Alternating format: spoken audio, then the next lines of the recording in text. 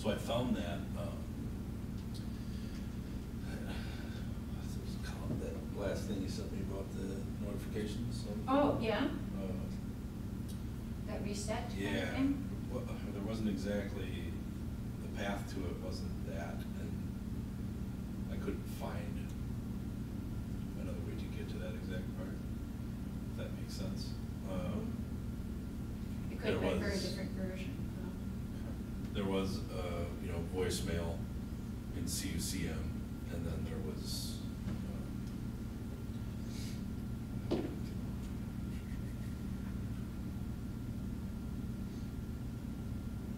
We should probably restart that, so Joe can restart it before he leaves. Do you think he's already left? Um, yeah, okay, message waiting indicators. Um, there was another, you know, thing after that, but there was nowhere to refresh. Um, It came up with two that were available. Um, they had two different phone numbers connected to them, one five zero Oh seven zero zero zero one thousand one, and five oh seven zero zero zero one thousand two. Two was off and one was on, meaning message waiting indicator on or off. Sure. Okay. Um, so I did that, but I don't know that it logged me in as anybody else, switch accounts. Okay.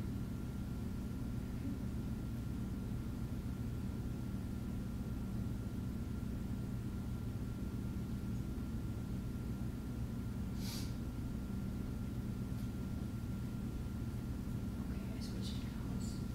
And where do I go? Uh, Plus. This little thing? Go back.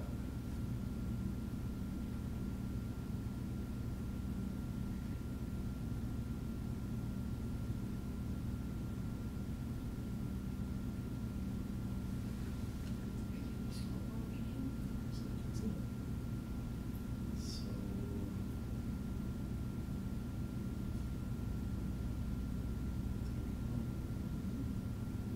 Oh, and running now.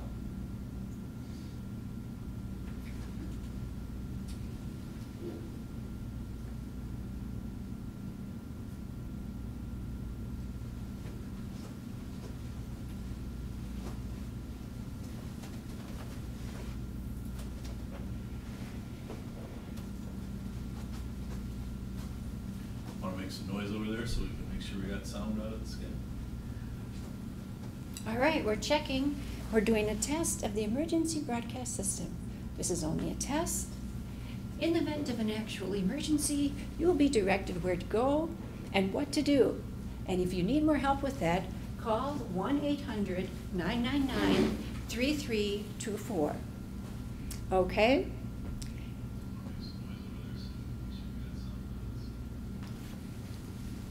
All right, we're checking. We're doing a test of the emergency broadcast system. This is only a test. In the event of any emergency, direct where to go and what to do. And if you need more help with that, Okay, that's all the way up.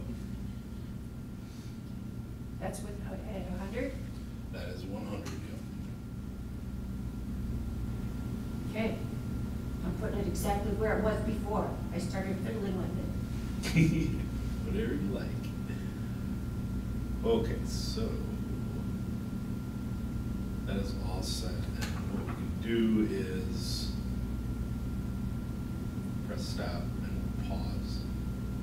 8th, 2023. Uh, We are located in the TCU High School Media Center, and again, it is 6 PM. Roll call finds all present. And now we'll say the Pledge of Allegiance. I pledge allegiance to the flag of the United States of America and to the republic for which it stands, one nation, under God, indivisible, with liberty and justice for all.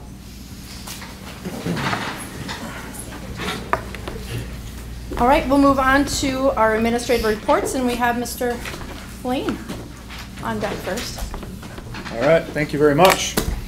I was told to give a quick presentation, so this will only take about an hour, so. um, Anyway, well, uh, thank you for giving me the opportunity to uh, give a presentation about community education. Um, For community ed, uh, we, I, when, when I kind of give my presentations, I say it's easy to describe community ed because we do everything outside of the K-12 system.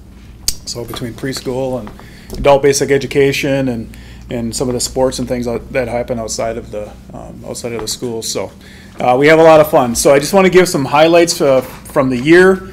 Um, we kind of look at, you know, we, obviously, we follow the same fiscal year, but we kind of look at like fall and then winter, spring, and then summer for like our catalogs. We kind of follow like, those are our seasons that we follow and how we go. But so in the fall, um, actually back up a little bit, August 1st, we switched to uh, a new online system called Eleyo. Um, we switched that because um, our current system for registrations and stuff was very cumbersome and difficult, and trying to get reports and things like that was uh, getting more difficult, and we've had some numerous issues with that. So we switched to, um, to Eleyo, and it's been uh, fantastic for us, our patrons, and people that register our business office um, as well. Um, so that has been a great marketing tool. Um, I know we've been talking a lot of marketing at TCU, and what's nice about that, we can just push a button for, hey, we want to advertise this widget class. We push a button, goes right out to Facebook. You know, so this is really nice. So our uh, we don't have to recreate the wheel with a flyer or anything like that. So we push that button, and it looks very professional online, and we can share it with our district pages or like the, the local happenings pages and things like that. So that's been a, a fantastic resource um, for us. Um, in the fall, um, we uh, continued with our fall soccer program, and we had uh, um, over 50 kids that participated in U8 and U10 soccer. Um, we had a five on five program with uh, Belle Plaine and Jordan that went off very well um, to continue uh, to build our soccer program here uh, with TCU. Basketball clinic, we had uh, 94 kids, uh, almost 100, which is fantastic. So the gyms are definitely busy. busy. Flag football, flag football, we go one first grade through third grade because once they get into fourth grade, they go to Mr. Collins and the booster and they play full contact football. So we had 45 kids at first through third grade. Um, the center has their own little flag football on, on site there, and then Montgomery Lonsdale is together. And then during the towards the end of the year, they travel to each other's communities and play some games. So it's a lot of it's a lot of fun. And um, wrestling, we partnered with the wrestling group. We had 74 kids out for wrestling. Uh, winter, spring, um, we continue with that soccer uh, that soccer push. We had 42 kids that participated in clinics. Um, our dan- dance extravaganza, which is always really one of our biggest programs that we do. We had 54 participants for a dance extravaganza. Um, chess, we just had that here not too long ago, a chess tournament at the American Legion over in uh, uh, Le Center. We had 14 kids participate in that. Uh, we partner with um, uh, the Legion over there and then Colin Scott, who is one of our special education teachers now over in the center. Um, this summer, um, going really busy. Our, our fall music or our summer musical is going to be Moana. So we try to keep up with the big, exciting themes of uh, what's what's happening with that with that age group. We got 34 kids signed up so far. Uh, we got 101 already signed up for swim lessons this summer. Um, 84 kids playing competitive soccer. Our competitive soccer is U10 and U12. We don't have anything above that. So we have 84, and then we have 107 kids that play recreation, which, which would be like our U6 and our and our U8 kids. So um, soccer-wise, our, our U12s practice here um, out by the old practice field. Uh, we have the U6, U8, and U10 over in Lonsdale. Um, we have U6 and U8 down in our Montgomery, and then we have the U8 over in the U8 over in the center. Um, Special Olympics and Friendship Adventure. Um, I think the last time that uh, I was here, I think we uh, gave some Titan awards to some of our some of our athletes.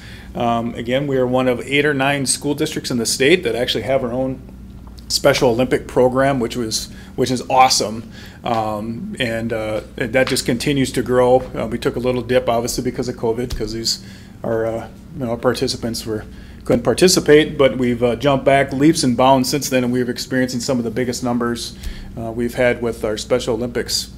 We have five sports that we do. We have bocce ball, poly hockey, unified volleyball, bowling, and our biggest one is swimming, which is going on right now. Um, we had uh, 15 athletes that went off to Edina for the regional uh, meet, and depending on how the summer games look, uh, we'll probably send you know anywhere from 10 to 15 again to the summer games.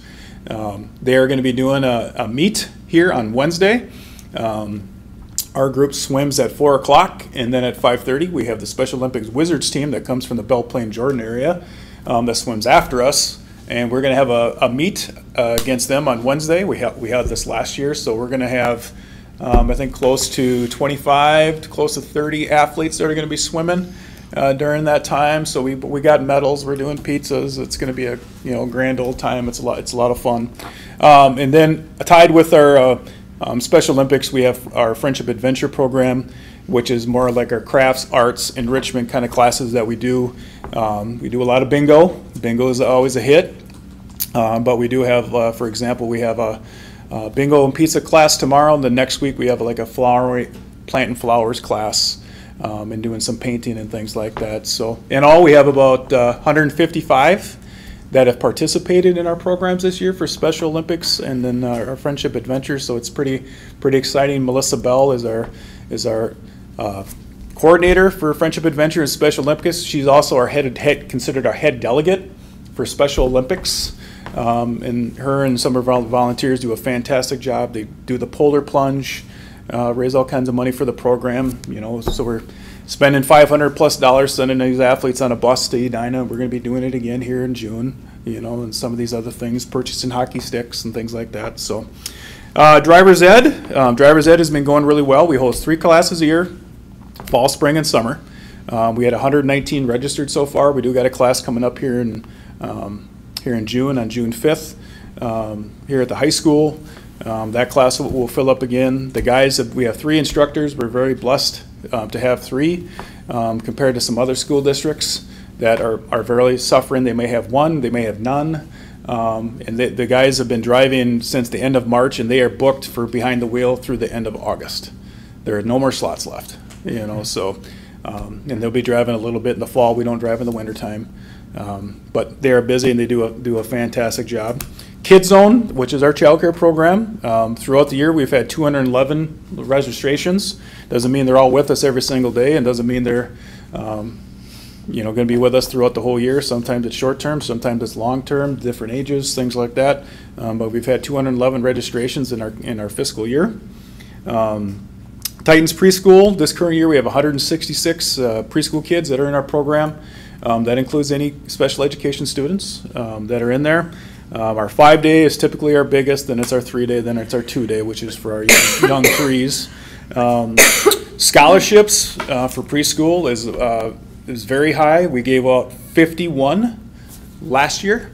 Um, majority of the money that we get um, for scholarships comes from Pathways 2. Most community ed preschool departments in the state get um, a certain sum of money to offer for scholarships for folks that qualify financially. And we have been absolutely fortunate that we get preschool scholarship money from the Rice County United Way and the pre- and the Greater Mankato United Way. Uh, we get about 10,005 a year between the two that we uh, utilize to maybe you know, some of these families may not qualify free and reduced lunch wise, but maybe they're in a hardship situation. Maybe they lost a job, um, maybe they got multiple kids that are in preschool, plus they got Kids Zone on top of it. You know, so we, we work with them, uh, primarily Natalie Exton, our early learning coordinator, to try to figure out, hey, would, you know, can we, can you do half? Can you do this or that? We try to make that money go as long as we can. And uh, Nellie and I both gave those presentations last week to uh, the both United Ways, one in Northfield, one in Mankato, um, to hopefully continue to get that uh, that support and and to keep reaching those families so they get a preschool experience before kindergarten. Um, going into the next year, we're already at about 130, so we should be uh, pretty close on those same numbers uh, um, as we go. We'll get registrations periodically until, almost until preschool starts. Um, And we're already, we have 29 requests for scholarships to try to meet some of that, some of that demand. We don't turn anybody away. We work with them as best as we can. Some, some are, um, will get on payment plans. And, you know, we had one gentleman that made a payment plan for a couple years, twenty-five bucks a month, and he paid it off a couple years. That was pretty good. We wanted to give him a old trophy from the back for doing that, but we gave him a lot of credit. Uh, ECFE, which is our early childhood family education, we host classes uh, throughout the year uh, during the morning and then uh, in the evening. Uh, we had 70, 74 students and their caregivers. Uh, this is almost double from the, the year before, which COVID had a lot, lot to do with that. Um, a couple highlights from that: we have 12, we had 12 toddlers here in our Montgomery Montgomery evening class, which was maxed out, which was which was fantastic. So hopefully that bumps up our census numbers as we get coming up. Um, so we had a couple peek classes going on. Uh, it was kind of a peek, we call it peek, it's peek into kindergarten. Um, we had eight stu, eight, eight of our ECFE students that went on to peek, which is good. That means they're probably gonna come into our preschool, uh, program where they're gonna go off to kindergarten. Uh, kickoff, uh, to our fall ECFE family nights. So we, what we try to do is have one nice big event for each community. Um, so we have our fire safety night, which is in Lonsdale. We have a literacy and family night in Le Center. And then, of course, our big one is our breakfast with Santa um, here, which is also a fundraiser for us that we have here. Um, our Santa Claus happens to be a principal here, so he does a fantastic job. Uh, grant grant wise, uh, this is something that uh, we felt that you know we really needed to mention. Besides the um, ten thousand five hundred dollars that we get from the United Ways, uh, we got a twenty thousand dollar um, donation for a grant from the Initiative Foundation. Um, this is going to go towards like a lot of our early childhood and rap programs in kindergarten and preschool um, new furnitures and things like that. It's going to be a lot of fun. So, uh, getting all that before the school year, we just uh, very fortunate that we're getting thirty-five hundred dollars from the new Lonsdale Community Foundation. Um, they're they're going to give us an, uh, this money for an outdoor learning space. So, if you've ever made the drive to the back behind the, the Montgomery building, um, elementary middle school area, you'll see a fenced off area behind our preschool space um, that's got a bunch of different uh, slides and activities and kitchens and, and things like that for the kids to go out and play. We're going to try to replicate that in Lonsdale with that. So we got some uh, seed money to get that started. Uh, we're going to get 650 books from the Initiative Foundation for early childhood program, so that's fantastic. Uh, some of you may remember, um, this is well before my time, but uh, we're getting $2,000 from the Barb Jackson Memorial Fund. Um, she is the uh, founder of our TCU Early Childhood Program. Um, so a lot of those monies are going right back into the program. So we made some of those purchases uh, um, already, which is uh, uh, greatly appreciated. Um, lastly, you know, just like uh, um, anything else with some challenges, you know, that you've probably heard from, you know, Superintendent Babcock and the principals, staffing, you know, for us too. It's, uh, it's difficult for us and trying to get licensed, uh, um, you know, staff such as parent ed positions and things like that. And uh, um, finding subs is kind of, the- kind of the norm as well, so. um, But yeah, so we are, we are busy and uh, summer's probably our busiest time, honestly. You know, we're wrap, getting, you know, we're wrapping up preschool, but we got soccer and T-ball and baseball and summer rec and, and everything else going on and the pool and, um, but it's fun. It's fun. We're excited. Any questions for me? Thanks, Lane. Yeah. Lane Yeah, did- keep Lane doing what you're That's a doing. good Yep, job. thanks, thank you. Thank you. Thanks, Lane. It Wasn't an hour. Fourteen minutes. Do you want me to pull this up?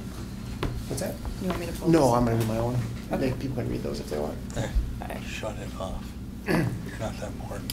Would you like me to start? Go ahead. All right, let me take these off. So first of all, welcome everyone. Welcome to the students in the back from, you guys are in social studies class, right? All right, so welcome.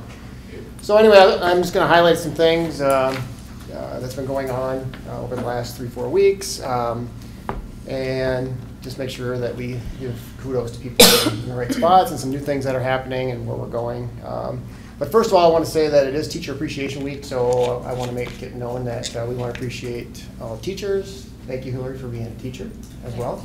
Um, so we want to make sure that we recognize our teaching staff uh, for the job that they do.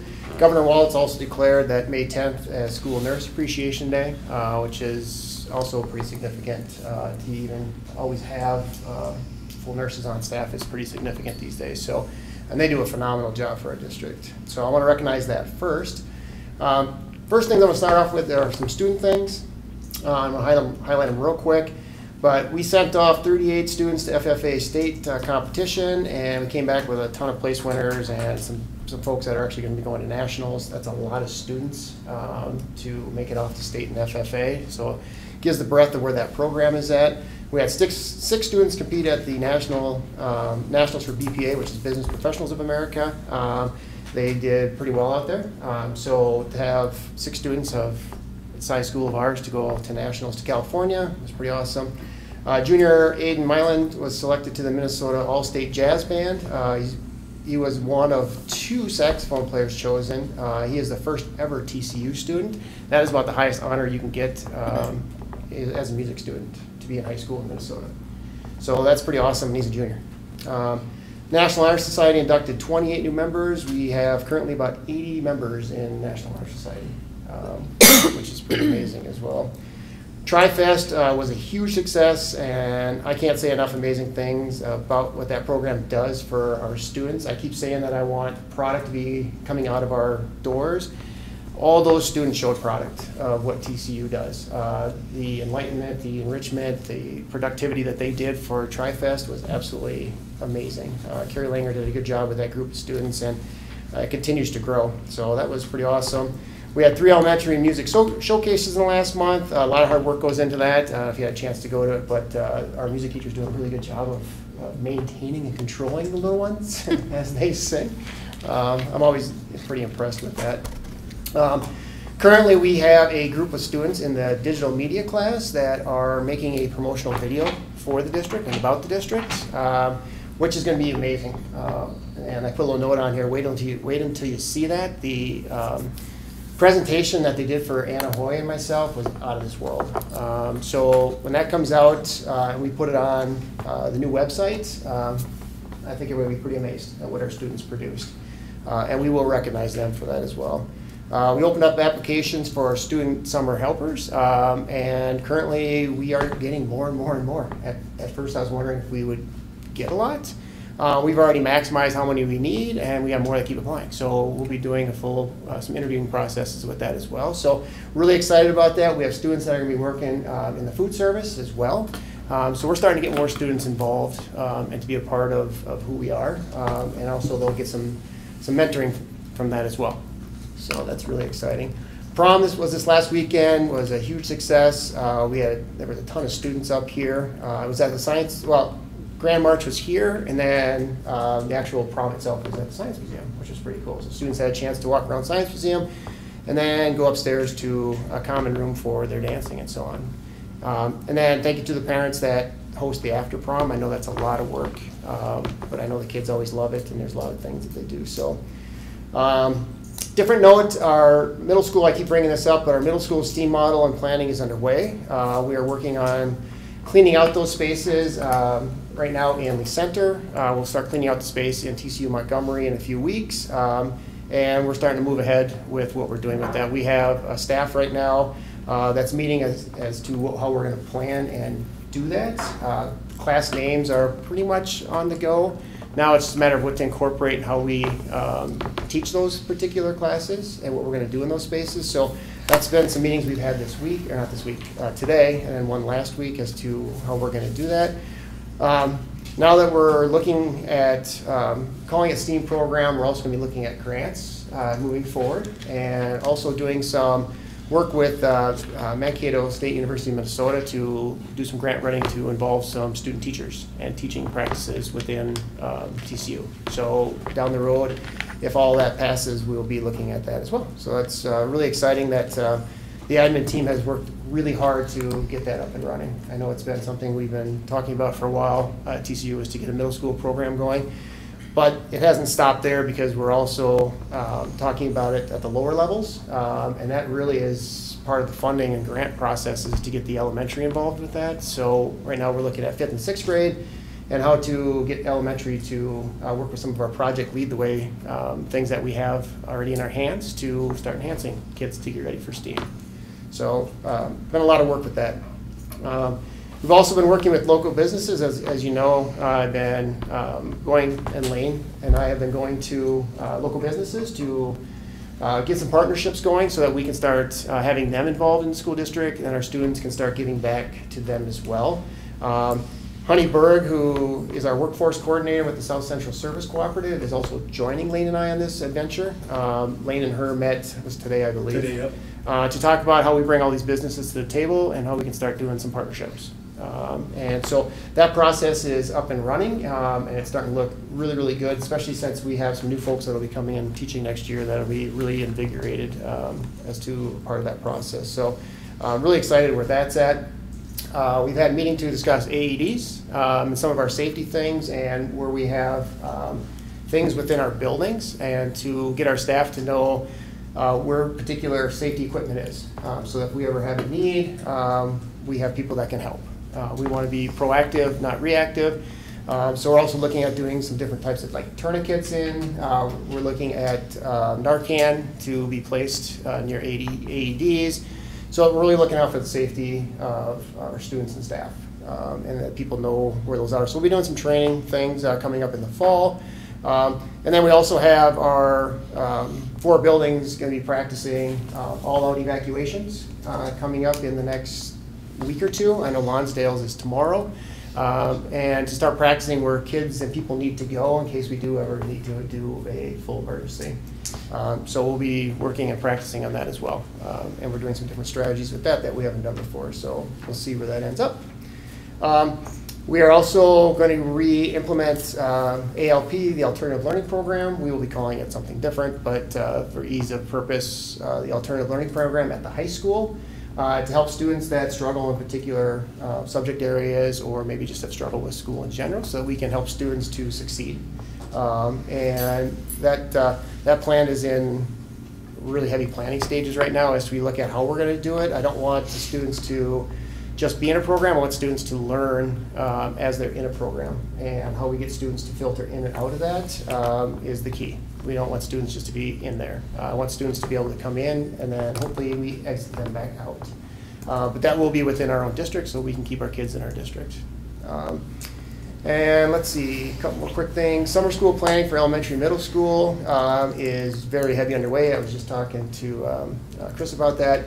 We have a lot of meetings happening this summer to uh, do implementation, further implementation of where we're at with our academics and our programming, um, and how we're going to transition between grade levels to middle school to high school, um, and really doing a heavy focus on where we're at and getting things really, like I keep mentioning, back to the basics of teaching and education. Uh, our staff has had the opportunity now to grow into the new things we've implemented this year. Now we're at a spot where we can really start to hone in the skills. Um, and part of that process too is uh, looking at when we have meetings and minimizing people being out um, of buildings and, and, so on and so forth. So uh, last couple things. Um, upcoming events, uh, we have insurance uh, open enrollment kickoff. I got to thank Jean, and Maggie for all the work that they've done uh, with the insurance process that we're in right now. Uh, but we have an open enrollment kickoff that's tomorrow. Um, and then we have the open, full open enrollment period is May 9th to May 26th. So we'll have a lot of staff and teachers that will be coming in and asking uh, our insurance folks um, different plans and so on with insurance. And then we have a pop concert uh, this, no, not this Friday, next Friday the 19th. Uh, there's a dinner at 5.30 and the concert begins at 7.15. If you haven't had a chance to watch our music department yet, I would recommend coming out because it's been pretty amazing. And then last but not least, we have graduation on Friday, May 26th at, six, at 7 p.m. at the high school, which is just around the corner. And Marcia will be crying because her son's graduating. Yep, I will. so outside of that, you know, there's a lot I could put on here, um, and I know I missed something, and I always probably will. But uh, we have a lot of great things going on, and we always need to recognize what those are. Um, so um, thank you for allowing me to share the great things that are going on with our school district. Perfect. Thank you. All right, next we'll move on to approve the agenda. I'll seek a motion. I'll make a motion. I'll second it. I have a motion by Kevin Huber, second by Trevor Hone to approve the agenda. All those in favor? Aye. Those opposed? Motion is passed seven zero. Next we'll move on to the consent agenda. We have the approval of the minutes of our April tenth, twenty twenty-three regular school board meeting. Uh, under personnel, we have employment ending. Uh, we have Luke Fleck, science teacher, Sherry Nelson, part-time custodian, Penny Ord, cook's helper, Kim Sladek, cook, Alicia Keller, Keller, uh, ECFE teacher, Vanessa Schmel, fourth grade teacher, Chase Burkhart, K-8 music, Amanda Bezick, ECFE teacher. Under new hires, we have Jenna Gulick, part-time Kids Zone supervisor, Tana Hadler, a FIAD teacher, Samantha Kyle, math, um, avid student success teacher. Don Markison, business teacher, BPA advisor. Savannah Linder, special education. Um, Jose Velasquez, part-time custodian. And Mike Reeser, high school um, ag science and technology teacher. We have a few leave of absences. Uh, Jamie Bruns, third grade teacher, and Nicole Kubish, uh, special education teacher. We have approved the bills amount of $1,620,176.24. Not say it the right way, but, uh, in the finance report, I will seek a motion to approve the consent agenda. I'll make a motion. I'll second. I have a motion by Chris Valasek, second by Hillary Birdsell to approve the consent agenda.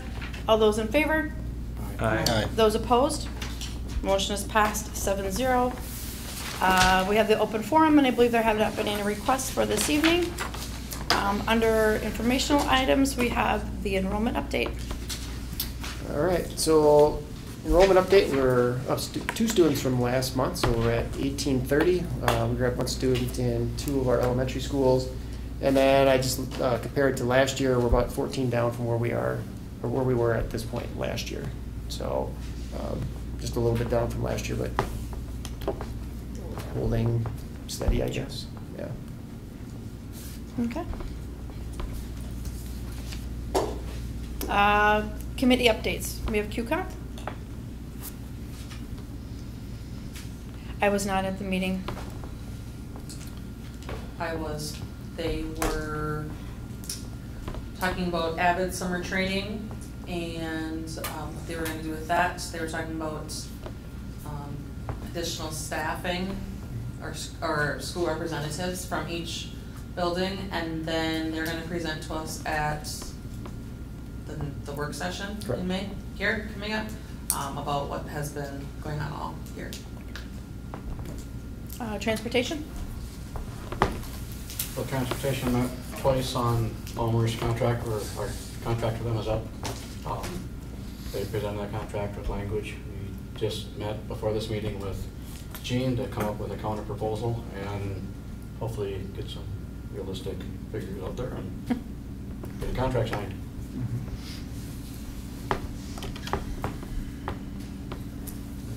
All right. Okay, we'll move on to new business. Um, first up would be our April donations. Be it resolved that the School Board of Independent School District Number 2905 accepts with appreciation the following gifts or donations and permits their use as designated by the donors. Montgomery Knights of Columbus, $500 for Community Ed Youth Summer Sports. Le Center Community Club, $250 for high school Avid trip. Minnesota Millwork, robot storage box and metal storage bench at a cost of two thousand nine hundred ninety-two dollars and forty-five cents. And Lonsdale American Legion, two hundred and fifty dollars for Community Ed Summer Flag Football Program.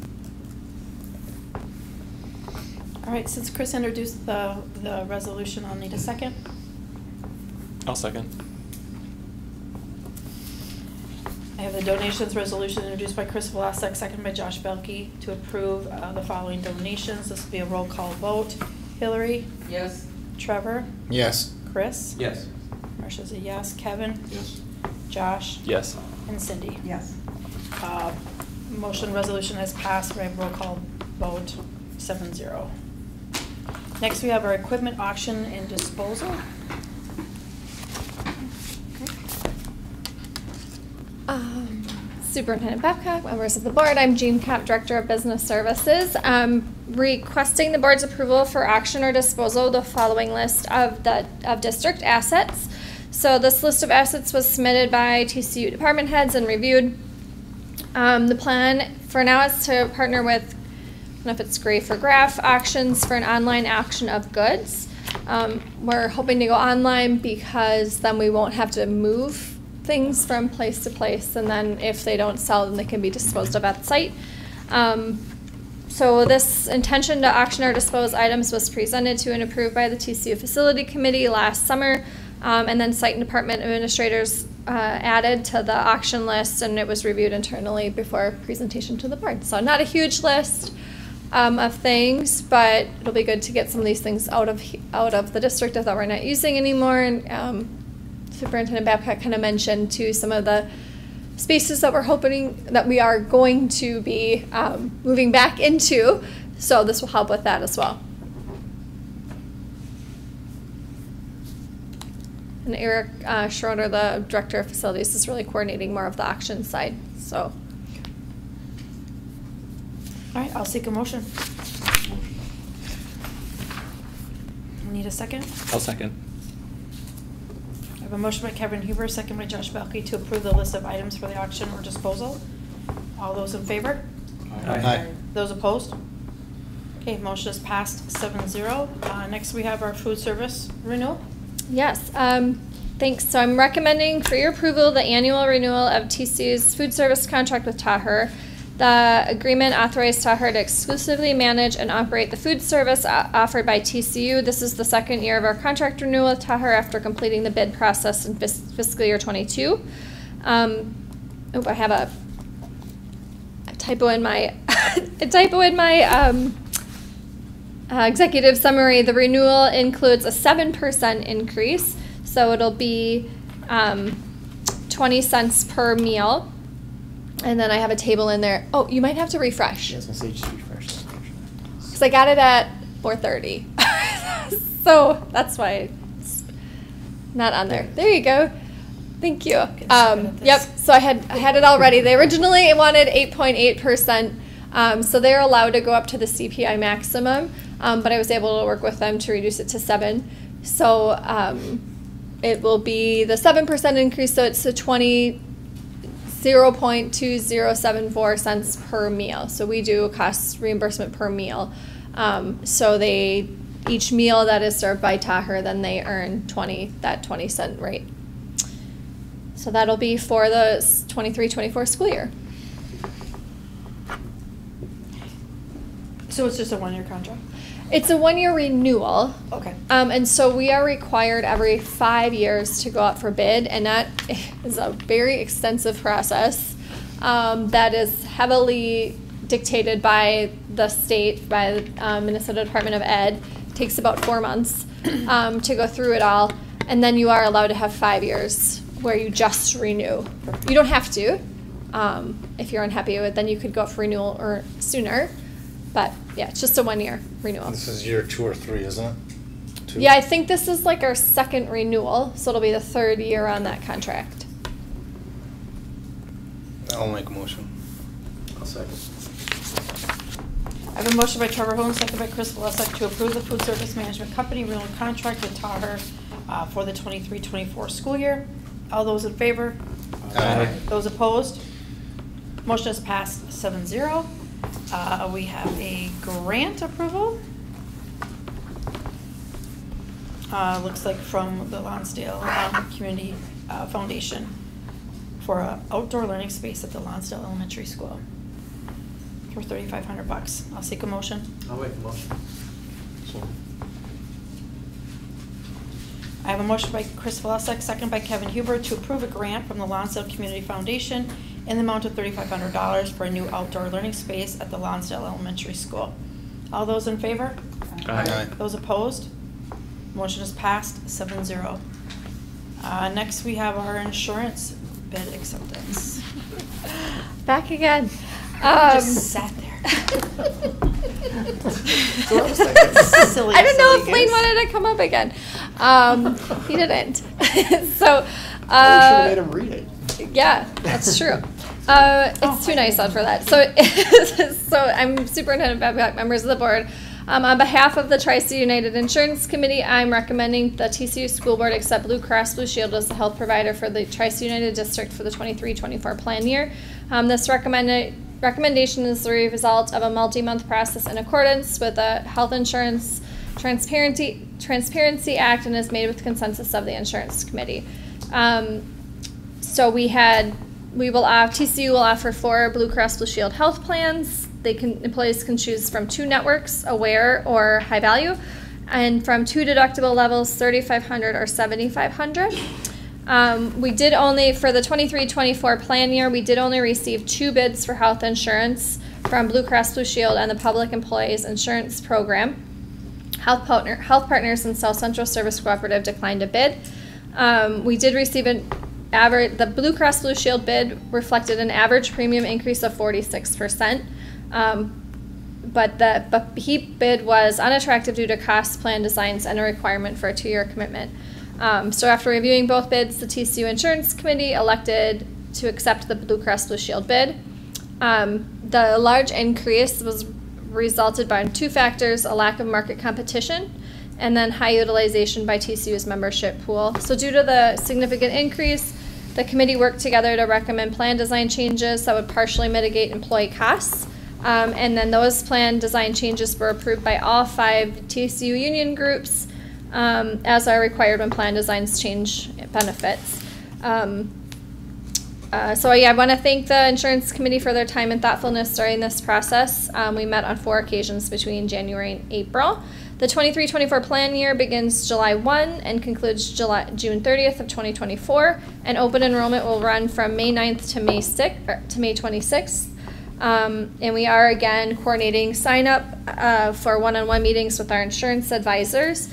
Um, the HITA bid process is like a, a, process that we're required to complete every two years, um, but there is no reason you can't. So next year, then we would have a renewal with Blue Cross Blue Shield, or we could go out for bid again. So I have on there kind of more about the HITA the pro bid process. Like I said, it's a two-year process, and then we have um, the insurance committee members. So it's made up of teachers, um, paraprofessionals. Um, we have somebody from every group. It's open for them to be a part of it. Um, I am required to have three union members from the largest union present when we're making like a decision. So that's we have we're required to have three teachers on like at decision points. Um, and then we have Paul Peterson as our advisor, and then we also have Randy Hunt and Darren Hunt of House of Insurance as advisors as well. All right, I'll seek a motion. A motion. I'll second it. I have a motion by Cindy Flecheck, second by Josh Belkey to approve the Blue Cross Blue Shield as a health insurance provider for the 23-24 and the 24-25 school years. All those in favor? Aye. Those opposed? Motion is passed 7-0. Thank you.